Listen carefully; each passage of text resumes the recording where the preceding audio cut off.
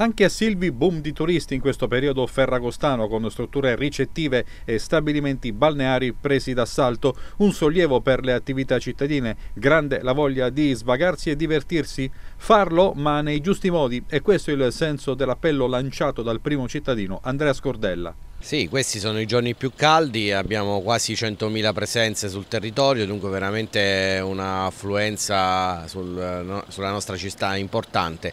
Abbiamo fatto tante raccomandazioni, soprattutto per la, la movida giovanile, sappiamo che tutti si vogliono divertire, questi sono i giorni di Ferragosto, però una, un divertimento responsabile, quello che chiediamo e quello che chiediamo soprattutto anche alle famiglie di un maggior controllo verso questi giovani e, e soprattutto evitando gli gli assembramenti per eh, le misure anti-Covid. La grande presenza turistica a Silvi e nelle altre località costiere ha comportato problematiche nell'approvvigionamento idrico. Anche in tal senso Scordella invita la cittadinanza a fare un uso razionato di acqua.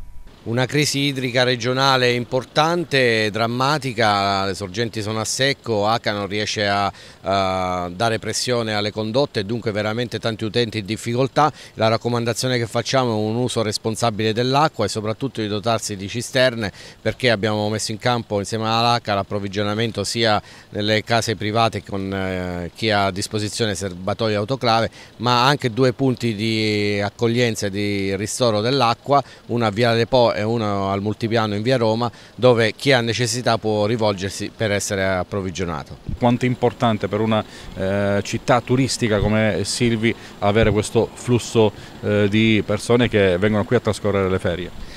Ma sì, dopo diciamo, un'invernata difficile avevamo sentore di molte presenze, molte prenotazioni, abbiamo confermato che quest'anno abbiamo tantissimi turisti sul territorio, eh, vedo anche molto movimento di stranieri, dunque una, un bel risultato eh, sperando che tutto vada per il meglio e che possiamo goderci questo diciamo, scorcio di estate.